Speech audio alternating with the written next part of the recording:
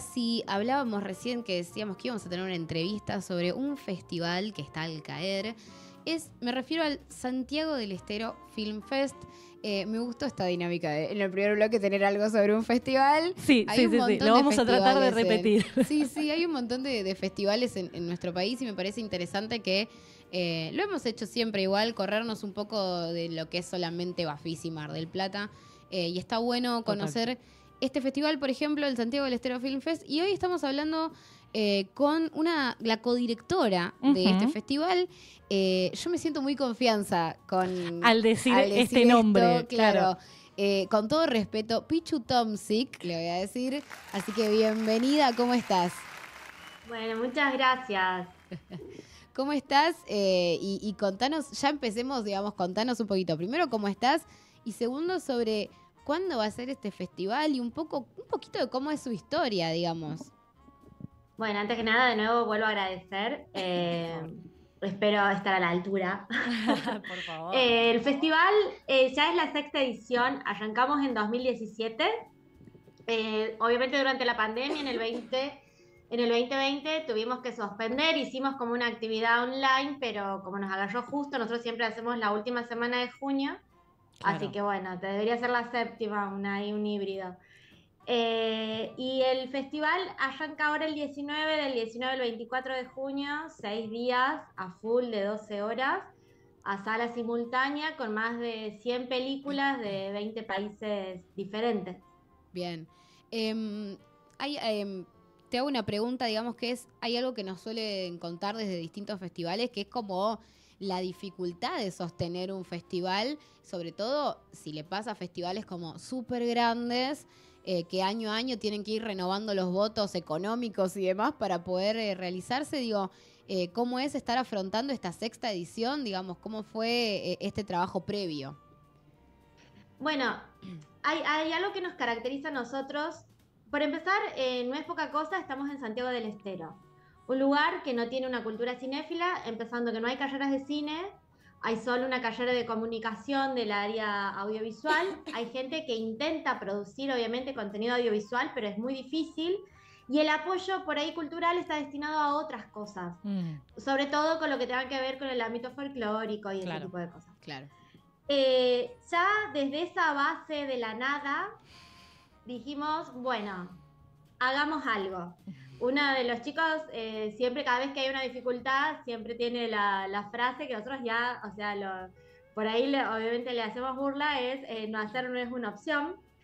Eh, entonces con, con esa frase vamos contra viento y marea con todo. Obviamente sí tenemos un apoyo muy fuerte que es eh, de la municipalidad, que es básicamente todo el dinero, ese dinero que viene de la municipalidad es para poder traer a realizadores, porque una de las cosas más importantes Claro. Que tiene que ver un poco también con el objetivo nuestro, eh, es que haya un intercambio.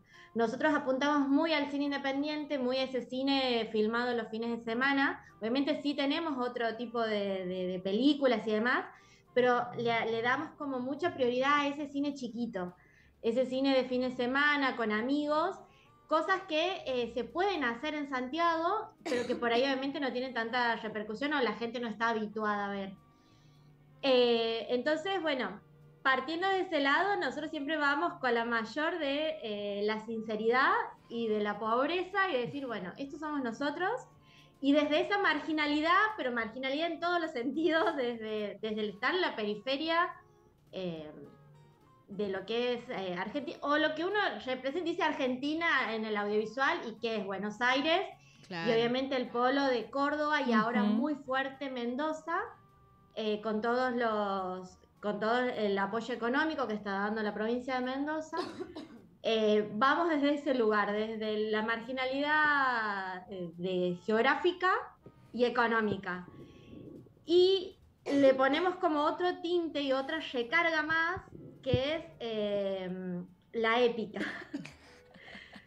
Nuestro festival se basa en épica, porque desde el primer festival, desde porque sí, corrernos de la sala y tener que ver en dónde hacemos la entrega de premios, por ejemplo, el último día, el lugar donde estábamos, se les ocurrió que ya estaba, ya no me podían dar más la sala yo tenía que terminar de programar tres películas y fue salir a buscar sillas, porque había directores en sala, Ah, bueno. proyectar en donde sea. Mm, Y en base a eso, hacer una entrega de premios. Claro. Acá es muy popular eh, el- esos trencitos de la alegría. Sí. Bueno, dijimos, ya está, porque conocemos al dueño del trencito, Ay, porque aparte tiene una particularidad que tiene unos Spider-Man que son un- una cosa de ácido. Eh, y dijimos, ya está, hacemos la entrega de premios arriba del trencito. Me parece muy O sea, fantástico. a nosotros del festival no nos lo saca nadie y la ciudad es nuestra, eso es dijimos. excelente. Es divino esto. O sea, por cualquier cosa metemos épica a todo, hasta en los premios. Eh, año a año todos los premios son diferentes. Nuestro premio, el sello del premio, es el poleo, bueno, también por esta cosa de visibilizar lo pequeño. Ujú.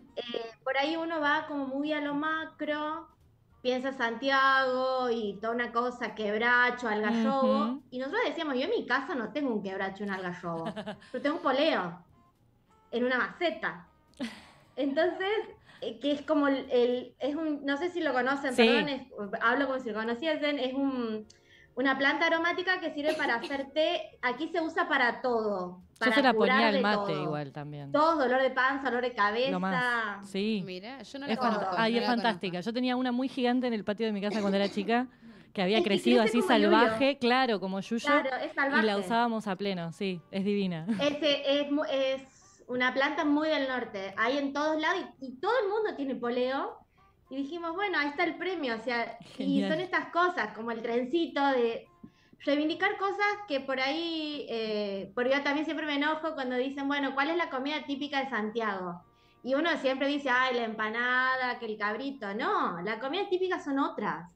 Y que la gente por ahí no se da cuenta, que son los sabores que nos hace como muy propios.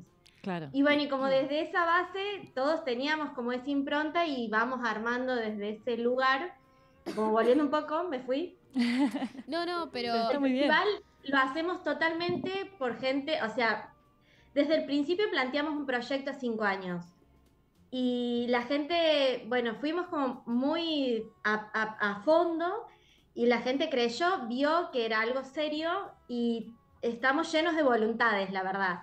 Eh, hoy por hoy contamos con más de seis empresas que nos apoyan en diferentes cosas, en gráfica, vía pública, cosas que son muy caras.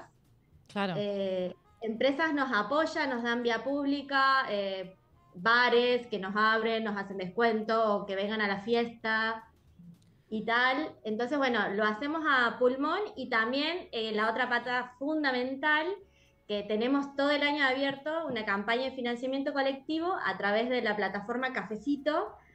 Eh, así que, bueno, también las personas que, que estén y que escuchen y que quieran colaborar. Estamos como con unos números por debajo del presupuesto, así que sería genial. Ah, Vendría bárbaro saberlo. Un entonces. poco de monedas. un poco de monedas. Eh, escúchame, está buenísimo. Y, Me encanta. ¿Sabes qué pensaba mientras contabas todas esas- estas cosas que verdaderamente eh, ignoraba totalmente todo ese espíritu del festival? Y, Tal cual. y me encanta estar descubriéndolo ahora con, con la charla. Em, pensaba en esto de las identidades de los festivales, ¿no? Yo fui al, tuve la oportunidad de ir al Festival de Cosquín hace unos años y me acuerdo de cuando llegamos. Ay, que nos- sí, que es hermoso. Sí, y, y me acuerdo cuando llegamos nos dijeron, bueno, eh, le dicen como un festival amoroso. Ok, joya. A dije. ver. Y literalmente lo primero que hacen es recibirte en la casa del patio de la madre de la productora o programa o directora del festival que hace locro ella con sus manos Claro. para todas las amoroso. personas que van y empanadas para todas las personas que van y te dan vinito y es como un locro y un vinito en el jardín. eh, y van todos caminando, vuelven caminando. Digo, y de repente cuando terminó el festival, que me fui, dije, ok, sí, entendí. O sea, Claro. verdaderamente hay como un espíritu de festival amoroso. Eh, y pienso un poco en esto que contás vos, como bueno, claramente están construyendo una identidad muy especial. Y muy, desde la voluntad, justamente esto, de bueno, no nos va a frenar quedarnos sin una sala, lo vamos, vamos a encontrarle la manera de, de hacer lo propio y de, y de Sí. mantenerlo. Y aparte la salida, porque una, vos podés hacer un montón de cosas. Y- y Claro. sin embargo, decir el trencito de la alegría es como, bueno, listo, ya está. Tiene mucha impronta. Tiene una impronta muy especial. Sí, eh, siempre desde el vamos, eh, tiene también que ver un poco con, como con el recorrido que tiene cada uno. Muchos venían como de, de diferentes, diferentes movimientos y demás. Eh, y para nosotros la mística es súper importante, porque hace a la identidad, o sea, pero lo hemos planteado el día uno.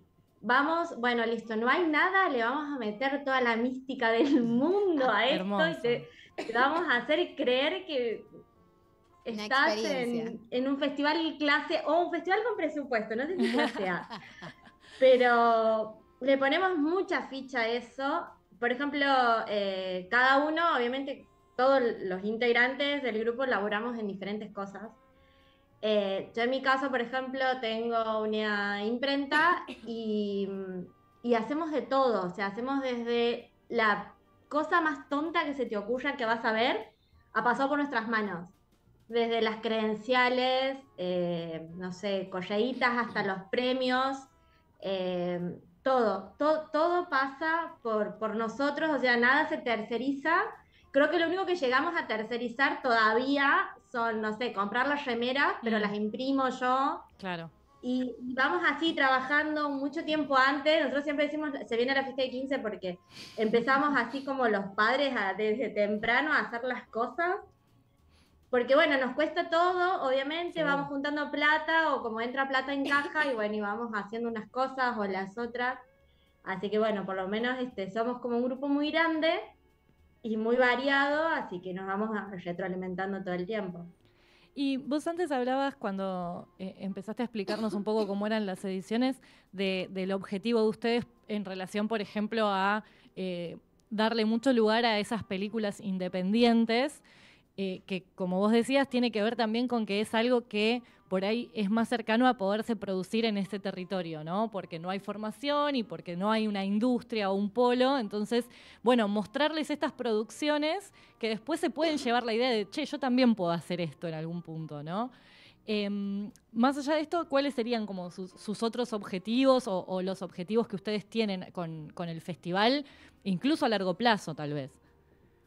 Nosotros eh, como festival obviamente apuntamos a hacer una ventana de cine independiente, teniendo en cuenta también que, la distribución, la exhibición de, pantalla está muy complicada en el país.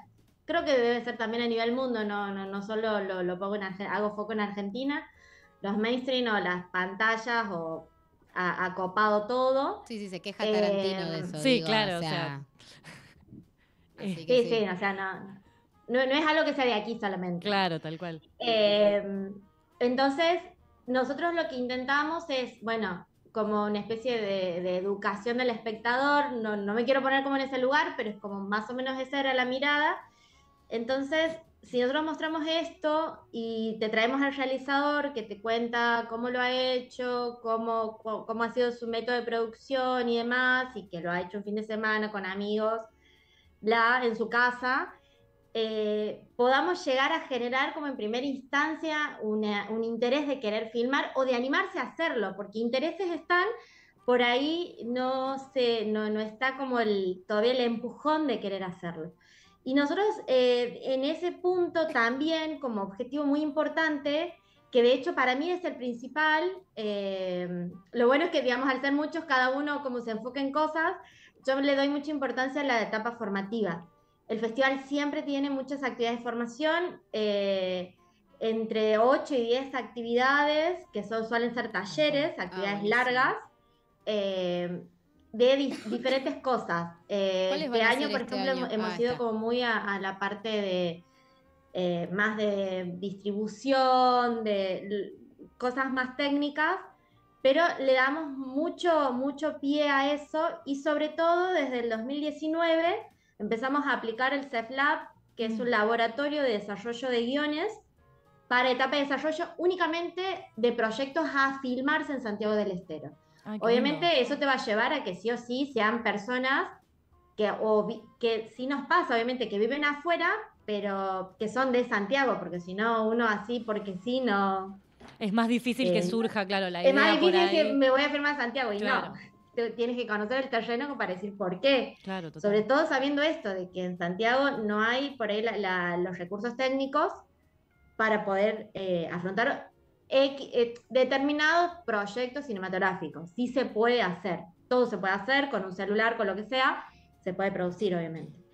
Y este año puntualmente, nosotros veníamos haciéndolo de ficción y este año abrimos a los dos, ficción y no ficción. Así que están ahí en la gatera proyectos a desarrollarse, eh, a futuro esperemos. Eh, y durante el CEF van a tener como una estancia de pitch, en donde, bueno, cada uno va a presentar su proyecto, lo que ido trabajando y demás. Así que eso es como, para nosotros, eh, es como el aliciente. Santiago tiene la particularidad de que está representado de diferentes formas, mediante la música, la danza, las letras, pero no de forma cinematográfica, como en las otras áreas. Entonces eso es lo que buscamos puntualmente y desarrollarla de cualquier forma. Nosotros, por ejemplo, este año planteamos, eh, Martina Sotil le va a dar un taller sobre creadores digitales, nuevas formas de narrar. Ella es la productora de Chanita Films, que si no lo conocen es un canal divino en YouTube, en donde ella solo sube eh, películas independientes argentinas hace contrato con los productores y son películas que de pronto disparan y se viralizan más de 12 eh, millones de reproducciones. Y si hay monetización, van a mitad y mitad con el director. Eso es genial. Ella ha visto como ahí un, nicho, también como realizadora, como, como productora, decir, bueno, tengo esta película que ha salido del de, el circuito de festivales porque es vieja y quedan encajonadas. Entonces ella le da como este espacio dentro del canal de YouTube. Es muy recomendable, la verdad, el trabajo que hace ella. Eh, lo, recomiendo después para que chusmen. Son películas que a veces que yo las había visto hace 10 años y ni me acordaba. Y decía, wow. Y sirve también para los directores para decir, bueno, en mi próxima película eh, muestro las métricas de YouTube, decir, bueno, mira, mi película anterior eh, tiene estas, eh, estas eh, visualizaciones en YouTube y demás. Es, genial el, sistema que ella propone para, digamos, su canal y es YouTube, o sea, libre, gratuito y te tira una data muy dura que es genial, que ni siquiera, calculo que ni Netflix se la, debe tirar tanto a, los, a los productores. ¿Sabes qué? Estaba viendo la, la programación y mm, dos cosas me llaman la atención. Eh, la primera es la cantidad de títulos em, internacionales que, tienen. Eh, estoy viendo acá como títulos de Alemania, títulos de Francia, un título de Serbia, que, Croacia. Digo, me, llama mucho la atención. que no sabía dónde mm, quedaba. Increíble. ¿Cómo rastrean esas películas? Porque las otras, digo, estoy viendo películas argentinas de un gran nivel que aparte estuvieron en festivales eh, súper conocidos, digo, entonces eh, me parece excelente la programación argentina que tienen, em, pero me llama primero la atención esto, como cómo rastrean estos títulos eh, que vienen de afuera. La verdad que ese es, un camino largo, que nos ha sido muy fácil conseguirlo, pero también ha sido trabajo que se va haciendo edición a edición. Nosotros tenemos una, hemos, yo ya venía como con un trabajo previo de festivales eh, y con, entendía la lógica de festivales, entonces empecé, bueno, en la primera edición, que de hecho fue, eh, nosotros eh, todos los años recibimos un promedio de 1.200 a 1.300 títulos, solamente de convocatoria abierta por formulario a través de nuestra web. Un montón. Un montón. es un montón.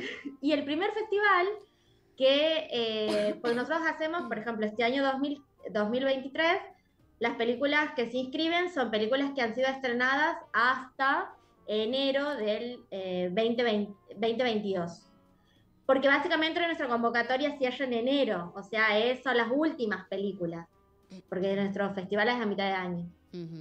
Eh, pero en el primer festival que fuimos a dos años atrás, eh, fue 2017 y recibíamos películas hasta julio del 2015, tuvimos 3.800 títulos. No podíamos creer. Entonces la base de datos, pero también esto, ¿no? El trabajo de hormigas fue agarrar catálogos, nos distribuimos, éramos en ese momento 10 en el grupo, hoy somos más de 30 voluntarios. Eh, pusimos en el catálogo, dijimos, bueno, cada uno va a agarrar dos catálogos de festivales y me iba y rastreaba festivales viejísimos. Claro. O sea, catálogos que encuentre. Y empezamos a transcribir mail por mail que apareciera en los catálogos. Sí. O sea, ese tipo de trabajo totalmente rudimentario artesanal, porque y conocía yo de nombre a alguna que otra distribuidora y de cara dura le escribía. Sí, obviamente al principio no, no te mandaban, pero ya en el primer festival tuvimos como títulos buenísimos. Tuvimos eh, una película que había ganado en San Sebastián y la tuvimos nosotros, que era. Mama, que no se había pasado todavía en Argentina. Increíble, Eh, increíble. Y son películas así como decir, chan, bueno, está bien, ¿Cómo no? Vamos, pero fue totalmente impensado. Eh, y bueno, y después, año a año, vamos haciendo trabajo de- así de, de, de quema coco. Por ahí se nos. eh, este año puntualmente se nos cruzó una película y no la pudimos conseguir.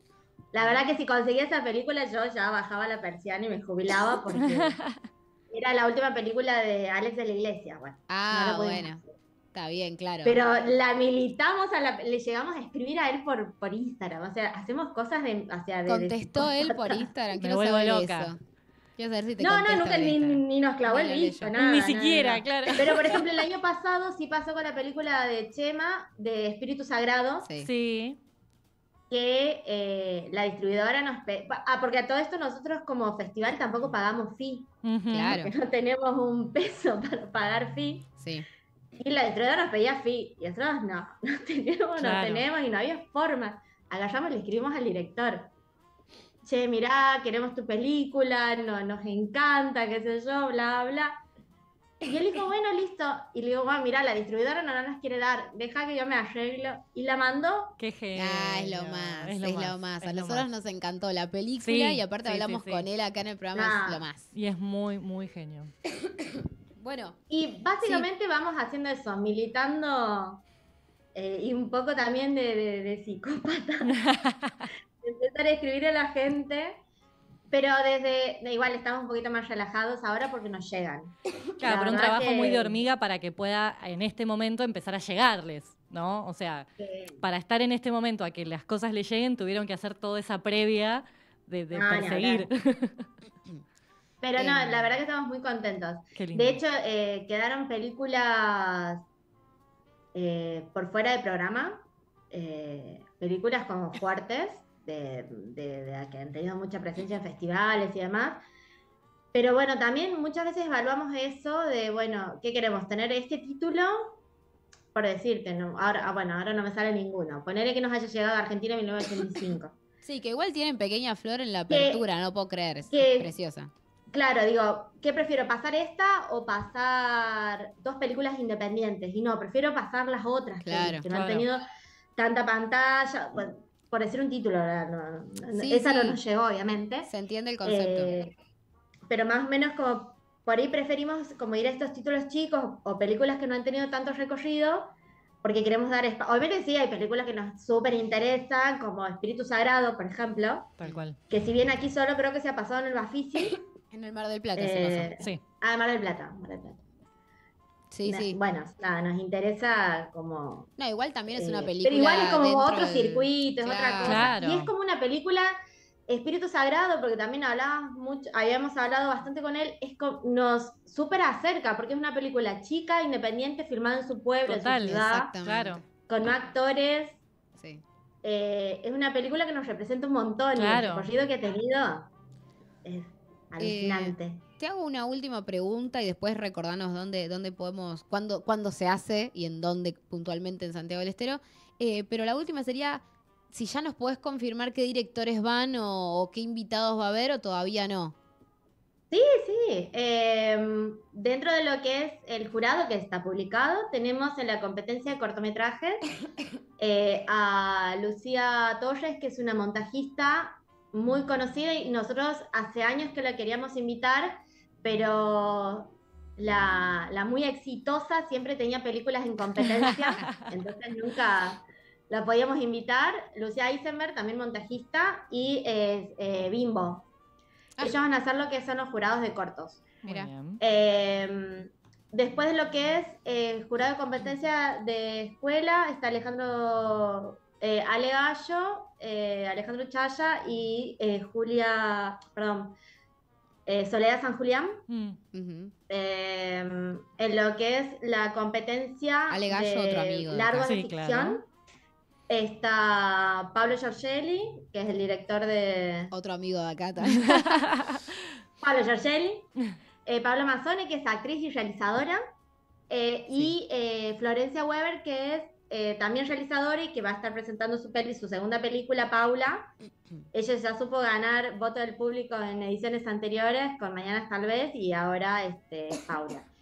Y creo que, ah, y después me queda de cortos, de largometrajes de no ficción, está Eduardo Crespo, Pablo Pintor, y se me está borrando el tercero. Está bien, está bien. Puede pasar. Bueno, ya perdón. dijiste perdón. muchísimo de memoria, así montón. que. Esos son los jurados. Son un montón. de- de o sea, acompañan las películas. 40. Ahí así va. que es un Ah, montón. está bien, claro, no, es un montón. Y está- estaba haciendo memoria de todos los que vienen. Eh, bueno, vamos a tener también, eh, van a estar de, eh, con presencia en sala el, el realizador del cine ha muerto, eh, Amigas en el Camino, eh, La Bruja de Hitler de Mira Mm, Molina, eh, que, nos- que se estrenó esta semana, creo, Sí, en Buenos sí. Aires. Si está todavía en sala, vayan a verla. Eh, después vamos a tener, eh, acompañando a los cortometrajes, que aparte viene a dar un taller Sergio Piñeiro, que es el director de foto de Pasajero, el cortometraje de Juan Pablo Zaramela. Sí.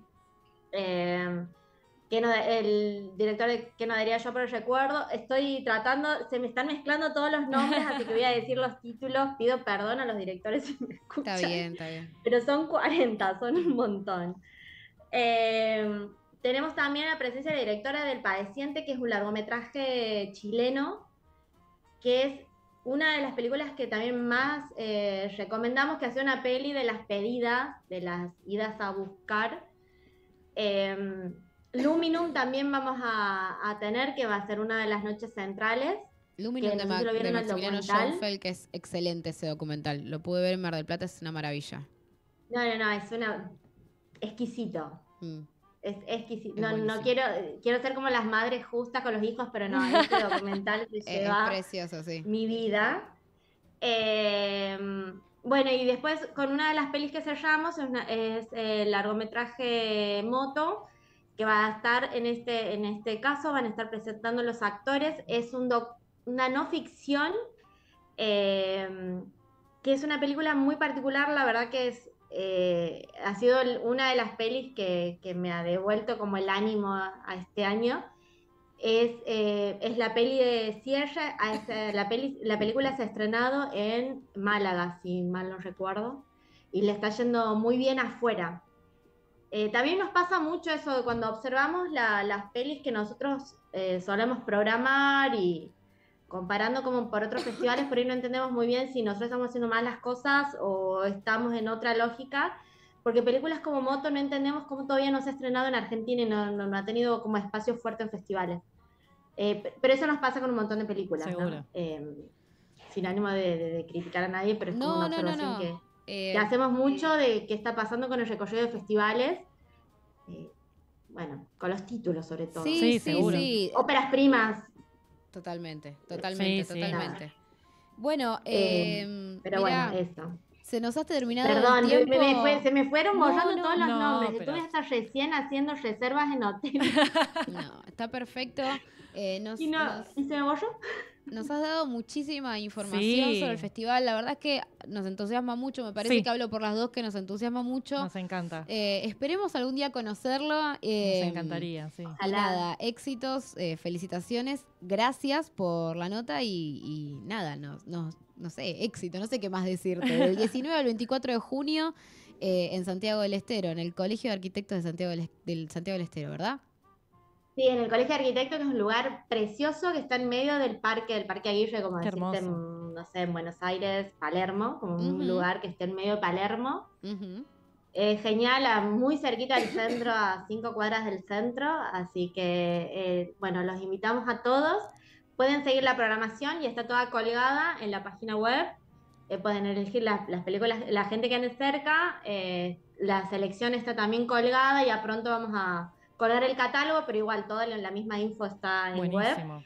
Y bueno, y también los invitamos a, los, a las charlas y talleres y a una muestra fotográfica que vamos a tener que es bellísima de Gianni Mesticelli, eh, que en este caso se llama Presencias. En Buenos Aires se le ha puesto mucho, llama Iconos Argentinos, estuvo en el subsuelo de Casa Rosada, una obra de retratos, una que era eh, grande, más inmersiva, esto va a ser pequeño, pequeño formato.